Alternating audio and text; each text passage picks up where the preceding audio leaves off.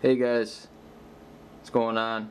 There's been a lot of talk lately that H-Hour is not compatible with controllers and that people won't pick up H-Hour because it's on PC and it's not on console.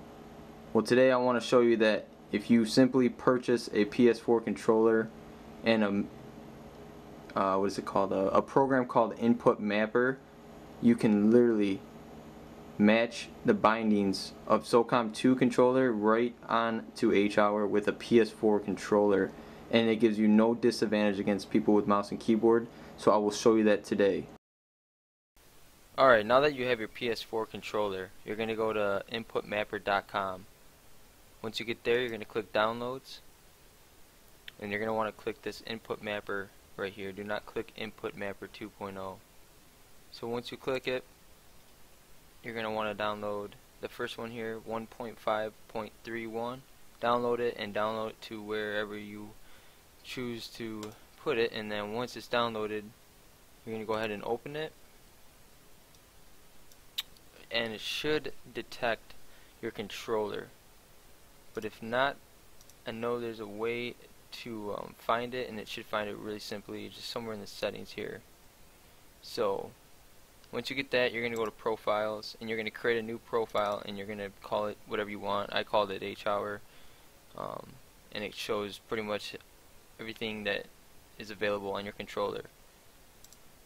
And then you can go to configuration and mess with your colors and all your look speeds and stuff like that. But you're going to want to go to access tuning and then for your right stick you're going to mess with the sensitivity because in H-Hour itself it doesn't allow you to mess with the right stick for the sensitivity, like your look around and stuff, so you have to do it here. I set mine to 115, but you can put it wherever you please. So once you get all that done, you hit save, and then you go back home, and it tells you that you're activated. You're going to open up H-Hour. Okay, so once you're in H-Hour, you're going to go to Options, and then you are going to go to input and then you're gonna see your bindings for either the keyboard or controller. There's no way of saying I want to use just keyboard mouse or controller. They're both activated at all times. So on controller side you're gonna want to just copy all my settings here. Just I'm gonna just go down and just you can pause the screen or the video when you're watching this I don't want to take too much time So all those settings there are going to be just like SOCOM 1, SOCOM 2, SOCOM 3, SOCOM whatever SOCOMs they make because I didn't play after SOCOM 2. You see here on controller settings, it doesn't say vibration or invert look or sensitivity. You can't touch any of this, but vibration is there. The full vibration. If a you getting shot at, you're gonna feel it. If a grenade blows up by you, you're gonna feel it. But the sensitivity is not there. So that's what I mean back in the input mapper, you have to adjust it there. Okay, so here we are. I'm in full PS4 controller. This is not mouse and keyboard. So I flow pretty well. Almost identically to SOCOM 2. I still play X-Link on SOCOM 2 sometimes.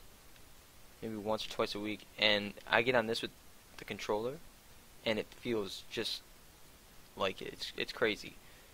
Now, if someone's behind you, I know the look speed's a little slow.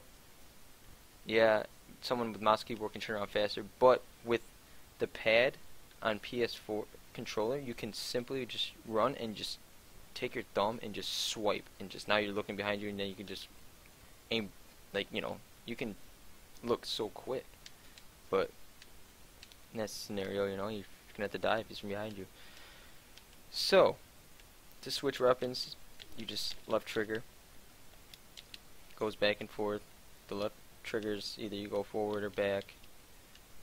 To throw a grenade, it's a little weird because when you hit right trigger, it only shows the arc being like that. So what you gotta do is hit the uh, right shoulder button, and it gives you your cho like choice of how far you want to throw your grenades. So like right there would be the furthest, which is normally what you're always going to use. I mean, yeah, it doesn't have like that nice flow arc, but if you just slowly press that button, it gives you that option to adjust. So if you're running a gun and you see a guy at a certain distance, you can just simply just kind of load it and then throw. And then switch back to your primary. Now, to crouch is pretty easy compared to mouse keyboard. I find it hard on mouse keyboard for me to go to crouch really quick. So if I'm running over here on mouse keyboard, I wouldn't be able to just simply just go like this because like I I'm not good with my my hands on the keyboard like some people are. And then to like go to prone really quick, like I can't do it well on the keyboard, but with the mouse controller, it's almost like SOCOM 2 where it doesn't in this game doesn't have dive to prone, so that's a little little you know, not like SOCOM, but you know, maybe they'll have it one day. So I mean, everything else is like pretty much just spot on. I mean, you really can't complain. It's just like console. So I really hope people can get on and and try it out. I mean, it's really worth it. And you can jump with the square button, talk with the uh, circle button, and then if there was a door here, you can just hit X. But these are user-made maps by the community, so they don't have any doors. But like the actual H-hour maps, they have doors, and you can open and close with X. You can walk up to a dead body, either dance on it, pick up their weapons with X.